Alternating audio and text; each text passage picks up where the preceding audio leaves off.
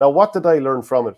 I learned that Mark Kehoe is Tipperary are going to have to hang their hat on Mark Kehoe being playing on the inside uh, forward line this year. And the reason that he's so important is he does for Tipperary what so few forwards have been doing for Tipperary for the last couple of years, which is get out in front, win the ball, turn and go at your man. Because that's the way that you create goals. Obviously, if you're able to deliver it well enough to the inside line. Now, it's always great if you can have runners through the centre who create goals either by drawing a man or by carrying it the whole way in and burying it. You know, for example, Jake Morris might be a player who does that. But Mark Kehoe is very important in the sense that he will test a man out. He's physically very strong. And I think his instinct is to go at the man.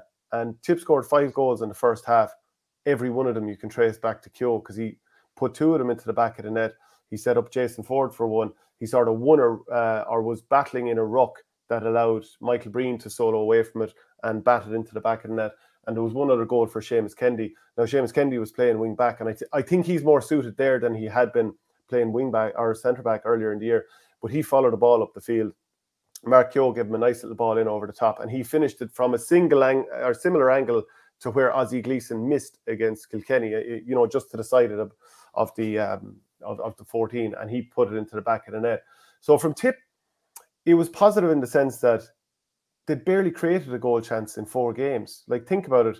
The one goal that came was a short puck out from uh, Eoin Murphy that was intercepted by Dennis Maher in the Kilkenny game, and he fed it in for, for Jake Morris to put it into the back of the net.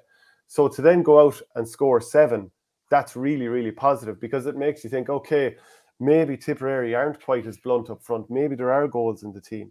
Now, who else played well? John McGrath ended up with 2 3, the same as Mark Kehoe. But I feel like John McGrath is putting huge pressure on himself to deliver because the last couple of years, take out maybe the All Ireland final against Kilkenny in 2019, it hasn't fully happened for him. And he found himself out of the team, nearly scored a great goal against Waterford towards the end of that quarter final last year, but hasn't really happened for him.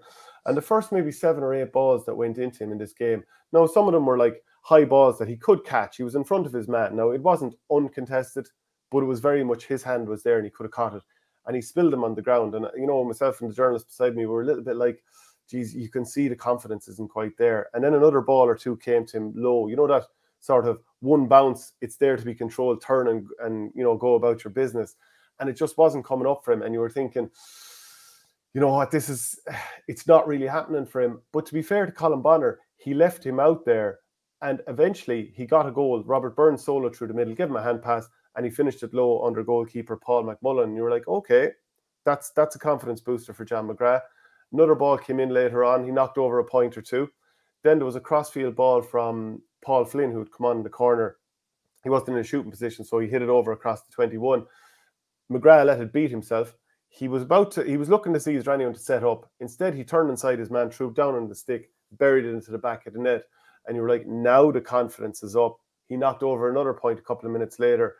And now I'm wondering, is John McGrath confidence wise going to be back in the next game or two? Is Colin Bonnar going to say, right, maybe he does deserve to start here now? Because we've seen that spark, the confidence that he had in the club game, you know, when he won man of the match seven weeks in a row between both codes there at the end of the year. Is that going to be there? So those are some of the immediate positives. Now there there are other ones. I don't know if you some, any point you want to pick up there or if I keep going. No, the John McGrath one is interesting. I think sometimes uh, with a fella where you know he has the class and he's up to the intercounty level, which he obviously is, sometimes you have to just let them play themselves into form. Sometimes they have to play poorly in a couple of games and you have to just keep going with them, keep persevering and believe that uh, that believe that they're going to catch fire, and it looks like uh, it looks like they are going to. It looks like he might potentially catch fire based on the club season. Like had a disappointing couple of county seasons. There's no point in saying any different, but the club season was massive for him. And as you said, he just kept this level of form that was outrageous. Um, and he's finding it maybe tricky to replicate that at county level, but he's done it before. So there's no reason to say he can't do it again. And it looks like even when not playing that well and other lads are really, really flying around him, that Bonnar is persevering with him. And you have to believe that a lad like that will catch fire. And, um, and it that's why you just, you kind of leave them on. You kind of have to make an exception to the rule with some guys because they need John McGrath. They need John McGrath on form come Munster, and taking him off at half time or after forty or forty-five minutes without a score or playing poorly is not what's going to work for him. So it looks like from Bonnar's point of view, hopefully persevering will work there. And just interested, Shane, you probably wouldn't have learned much about defense, but like, uh, like, what do you think the makeup of like the Tips League is over now?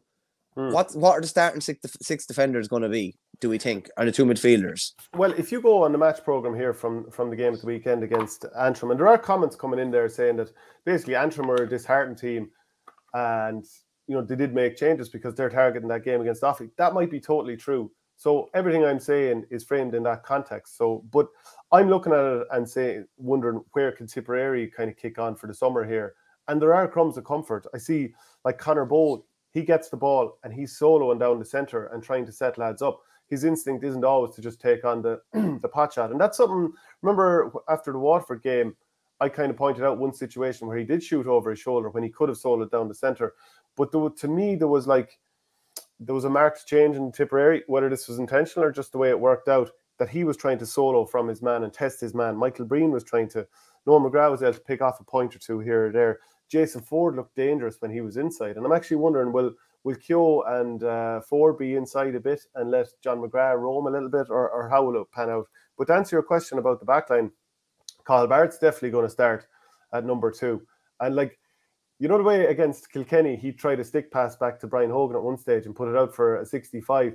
He actually did try to do a crossfield stick pass to Brian Hogan during this game and put it out for a throw in. So, not a throw in, wrong, wrong sport there, but put it out for a line ball.